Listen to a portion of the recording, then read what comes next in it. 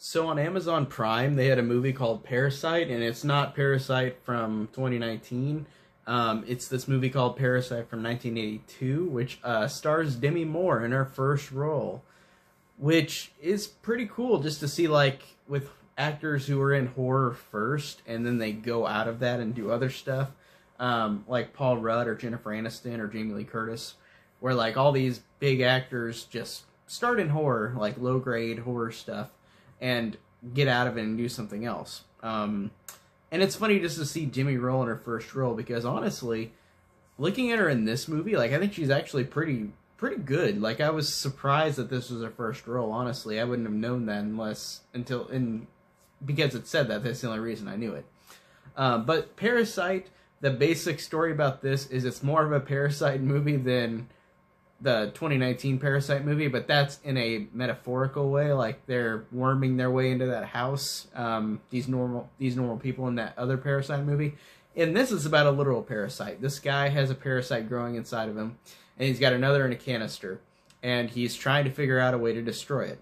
And he goes to this low grade um, small town and meets Demi Moore, who helps him out, kind of with the bullies in town because of course it's a low it's a small town so of course there's bullies in the town that are that try to destroy the canister the guy has but then they start getting their comeuppance by getting getting destroyed by the by the mutated parasite.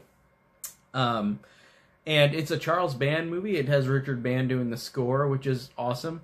Um so I'm glad that it was one of those movies because I do enjoy um the band movies. Like I do like them, but and this one surprised me because beginning of the movie I was like, eh, this is whatever. And as it went along, like it's definitely one of those build up movies in a way where I was not really invested that much at the beginning, but as the movie went along, I definitely liked it a lot more than I expected.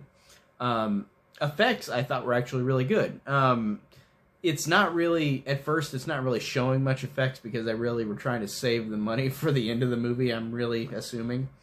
Um, which is fine because of course you need the build up and the climax in a movie. And this one had a pretty solid climax where like you you start to see this this parasite thing even more. And i gotta say like this one i'm surprised no one talks about this one because this one kind of i think went under the radar for some people or a lot of people um, I don't see people review this one much whenever you're talking about older horror. Um, and like I said, this is my first time watching it on Amazon Prime, so I just was introduced to it yesterday. But um, but I really dug the effects, and I really dug the performance of Demi Moore. Like I thought she was good, and I thought the main guy was good too. I don't know what his name is. I don't even remember what his name is in the movie, but he's the guy who has the other parasite uh, connected to his body. So I do like that with these band movies, they really do utilize um, utilize budget like in an interesting way. And I don't know if this is Full Moon. I don't think it said Full Moon. I think this was before Full Moon. Um, trying to remember whenever Full Moon was created. Like I know the Puppet Master was '89. I don't know what came before that. That was Full Moon. Um, but I just I look at Full Moon movies and I feel like this is one of them, but it's not it, at least in the one I watched, it didn't say full moon in the credits. So I wonder when that was created. But uh, but like I said, I think that it works. There's some creepy, effective moments.